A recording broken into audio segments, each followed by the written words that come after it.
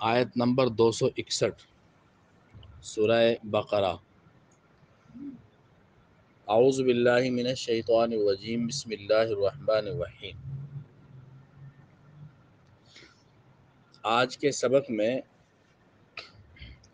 अल्लाह ताला के रास्ते में ख़र्च करने का अजर व सवाब बयान किया गया है। कि कितना फ़ायदा है इस चीज़ का कि इंसान अल्लाह के रास्ते में माल खर्च करे। एक हमारी ये दुनिया है, एक हमारा जहान आखिरत है। जिस तरह इस जहान को आबाद करने के लिए मेहनत है, कोशिश है, रात दिन की दौड़ धूप है इसी तरह आखिरत के जहान को आबाद करने के लिए मेहनत करना पड़ती है। हज़रत लुकमान सलाम ने अपने बेटे से फ़रमाया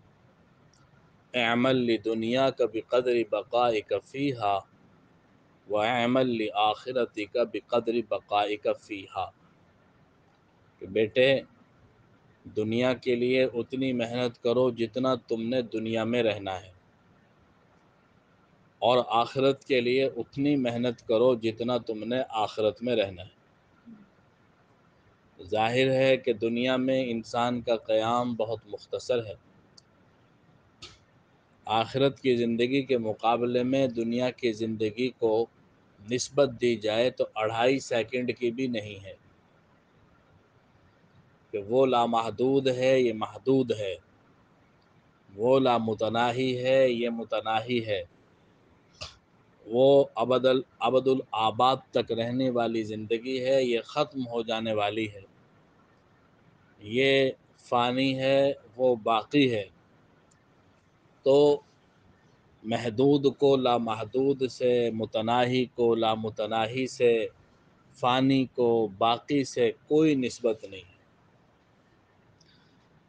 समझाने के लिए इमाम गज़ाली रहीमुल्लाह ने फरमाया कि अगर इस सारे खला को ज़मीन व आसमान के दरमियान में जो खला है, अगर इसे राई के दानों से भर दिया जाए, सरसों का छोटा सा दाना होता है, छोटे से, छोटे छोटे दानों से भर दिया जाए, राई के दानों से सारी कायनात को भर दिया जाए, एक हज़ार साल बाद एक परिंदा आए और एक दाना उठाकर ले जाए तो एक वक्त आएगा कि बहरहाल वो दाने ख़त्म हो जाएँगे, चाहे वो ज़माना कितने ही लंबे अरसे के बाद क्यों ना आए। लेकिन आखिरत का जहान ख़त्म होने वाला नहीं है। वो अबदुल आबाद के लिए है। इंसान नहीं था, फिर वजूद मिला इसको। एक ज़माना था कि हम नहीं थे, फिर अल्लाह ने हमें पैदा किया। तो इंसान हमेशा से नहीं है, लेकिन हमेशा हमेशा रहेगा। तो ये जो जहान है, दुनिया का जहान, ये बग़ैर मेहनत के नहीं है, बग़ैर कोशिश के नहीं है, दौड़ धूप के बग़ैर नहीं है। तकलीफ़ें और मुशक्क़तें उठाए बग़ैर हम इसको आबाद नहीं कर सकते, बग़ैर पैसे के आबाद नहीं कर सकते।